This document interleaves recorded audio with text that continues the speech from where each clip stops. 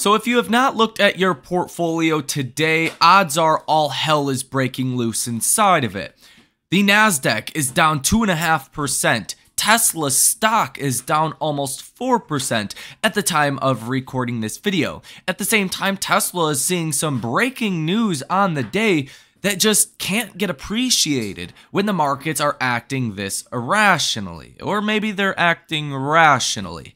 We're going to get into everything you need to know here on the day in the broader markets as well as Tesla stock and give you a glimpse on what could be coming next and what the next biggest catalyst are for the markets and Tesla stock. If the almighty YouTube algorithm has not blessed you with coming across this channel so far, well today is your lucky day. If you like to make money and you want to make more of it, and just stay up to date with everything happening in the markets every single day as well as Tesla, hit that like button and subscribe to the channel. Let's go ahead and get straight into it. Everything is selling down by quite a bit today because Fitch just downgraded the US long term credit rating from AAA to double A plus. Fitch says they expect fiscal deterioration over the next three years, an erosion of governments, and a growing general debt burden. Quote, the repeated debt limit political standoffs and last minute resolutions have eroded confidence in fiscal management.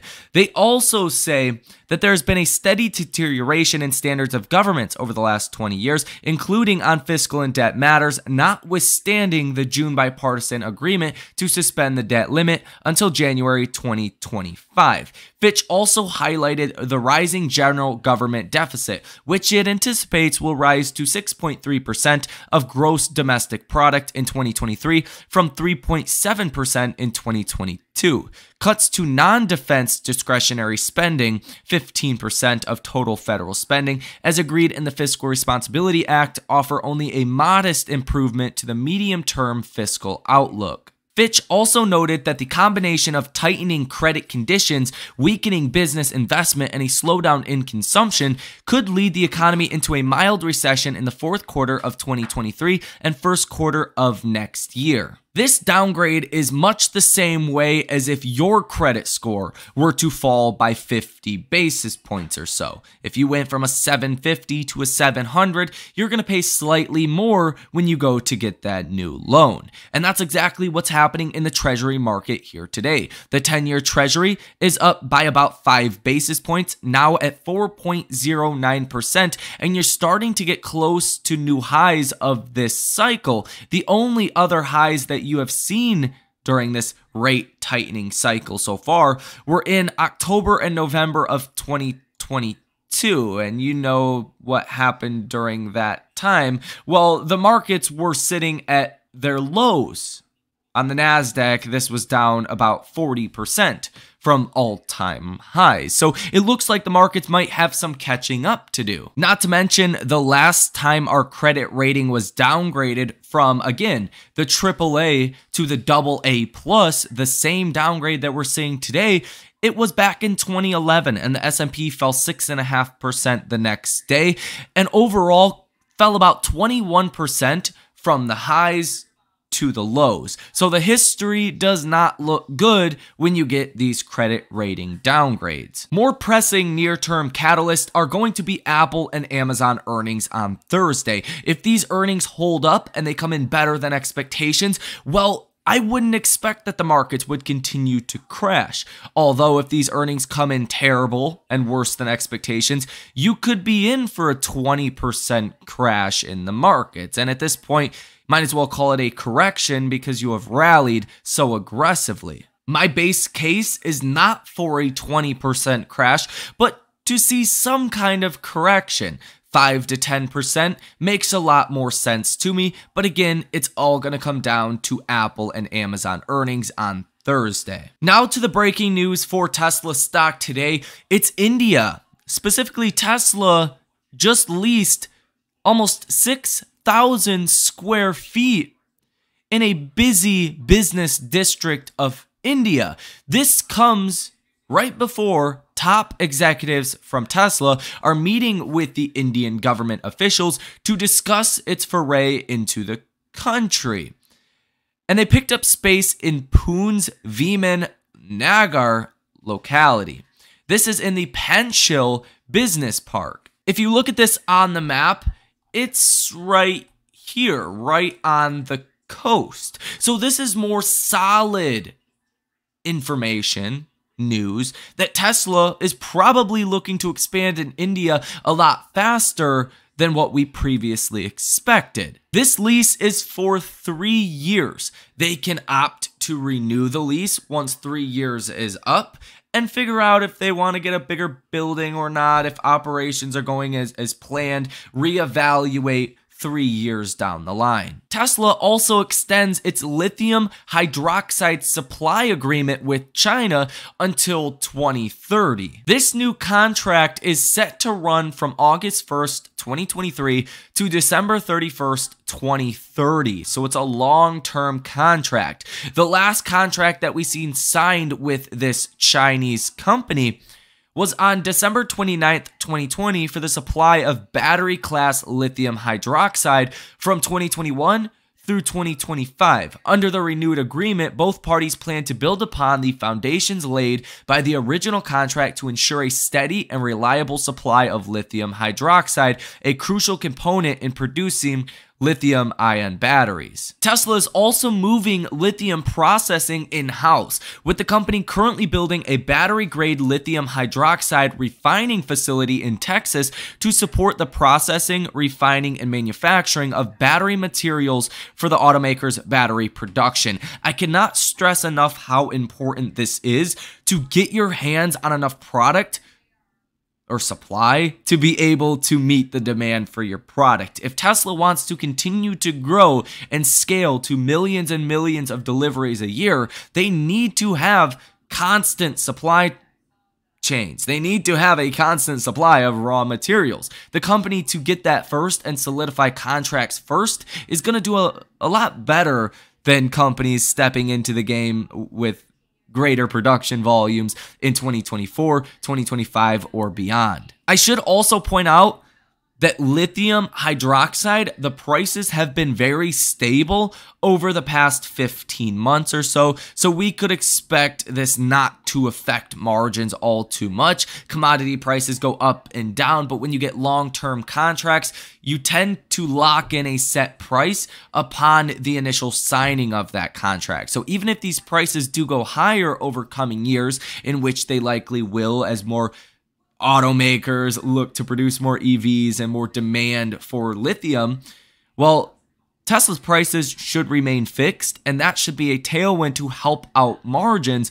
over the coming years. Tesla is also emailing California buyers about up to 15,000 in available incentives. This is because of the California's Clean Cars for All program, which slices off up to 9500. This is in addition to the state's clean vehicle rebate pro- project of 7500 and a government tax credit of 7500. So you're getting $14,000 off plus up to $9500 off your purchase of a Tesla, obviously if you qualify. So this should be good news, should drive more sales to Tesla. So far this year, year to date, from January 1st through the end of June, you have seen 5.8 million global sales of electric vehicles. The Model Y coming in first place with over 600,000 sales. The Model 3 in second place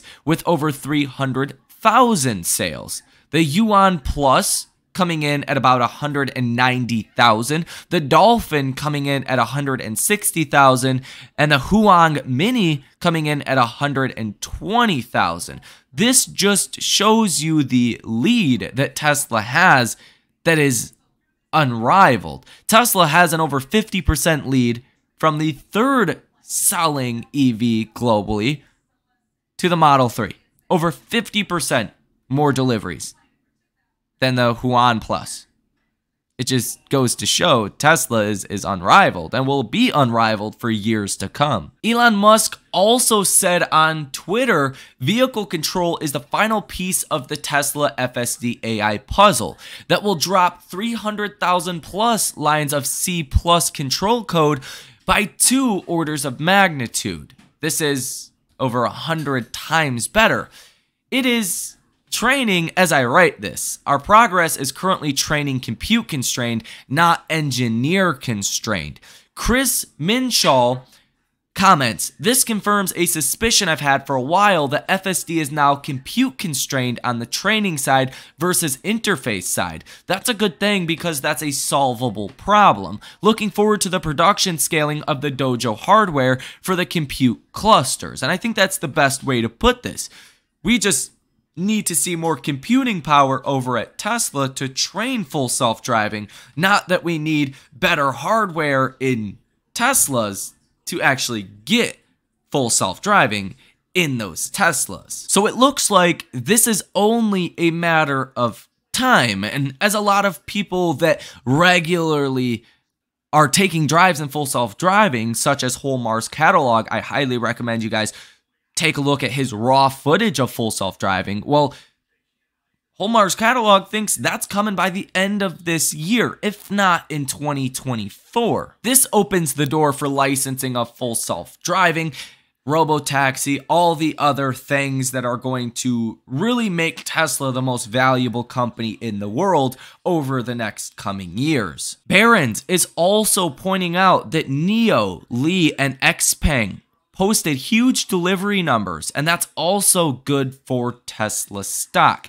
Based off of vehicle registration numbers that we have seen out of China for Tesla in the month of July, it looks like over 31,000 vehicles were delivered to customers that's good news for Tesla, although it's being overshadowed as well as the rest of this good news by what's happening in the markets today. Barron's also says don't blame the National Highways steering wheel investigation, which we covered yesterday, involving up to 280,000 Teslas, as the reason why the stock is falling, as some people have said. It's simply the correlation to the broader markets. If the broader markets were not selling off, Tesla would not be selling off.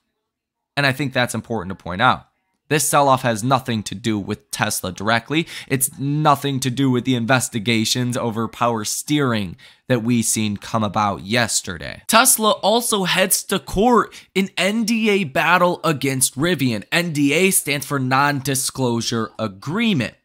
Tesla stated in the complaint that, quote, Miss misappropriating Tesla's competitively useful confidential information when leaving Tesla for a new employer is obviously wrong and risky. It also claimed that Rivian had hired at least 70 former employees, some of which were caught red handed stealing information related to technology and next gen batteries. Additionally, CEO Elon Musk said during an interview in 2020 that Rivian was doing bad things so we sued them. It's not cool to steal our IP and for people to violate their confidentiality agreements. The trial had stagnated to an extent in December 2021, and Judge Peter said that Tesla had 30 days to produce documents that were relevant, relevant to the suit. The case has moved forward with these latest developments, although Rivian has denied any wrongdoing and claims the suit is Tesla's attempt to derail competitors in the EV sector. So it looks like Tesla actually has a case against Rivian. It's currently being rumored that Florida could be the next state to get Tesla insurance. After all, Florida is the state with the second highest amount of Teslas out on the road. Third is Texas. As far as Tesla stock today, the option buyers are still out. You have seen about 700 hedge fund and institutional orders worth $149 million with a positive order value of 55%, which is quite strong relative to Tesla's negative 2.5% here on the day today. As far as Tesla stock and how the stock is likely to perform, going ahead into the future, I think it comes down to one simple thing. Do the markets go higher or not? If the markets continue higher, at some point investors start to say, hey, Tesla's a great company that's relatively inexpensive, very inexpensive compared to where it has traded in the past. Interest rates are coming down, and the odds of a soft landing, aka avoiding a recession, look more likely now than they have in the past. We should buy Tesla stock. That's the narrative that will start to take hold over the next coming months. That's not even to mention this Cybertruck, which is going to do wonders for Tesla's business. The trend is obviously good. We've seen good news after good news almost every single day.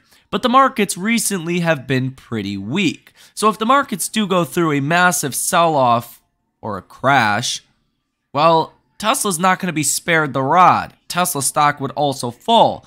But it would probably fall a lot more than the markets. Tesla tends to have a beta of almost 2, meaning that if the Nasdaq falls 2%, Tesla typically falls 4%. If the Nasdaq is up 2%, Tesla usually up 4% or more. So I don't expect that trend to stop anytime soon. Historically, the month of August tends to be a pretty good month for Tesla, on average around 8% positive. But historically, for the broader markets, August tends to be one of the worst months. As people go on vacations, volume dries up and can be more vulnerable to any sharp down moves. So that is what is happening here on the day in the broader markets as well as the news for Tesla stock. If you like my perspective, you like to stay up to date with all of this information on a day by day basis in the hopes that you make more money, hit that like button and subscribe to the channel. Thank you for watching. Enjoy the rest of your day and I will see you in the next one.